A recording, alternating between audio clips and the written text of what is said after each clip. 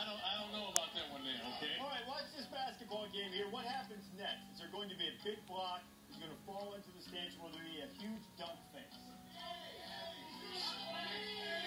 C. I, s- I- I would say C. I'm going B. I'm going for the Three Stooges pratfall moment. Here comes the. B.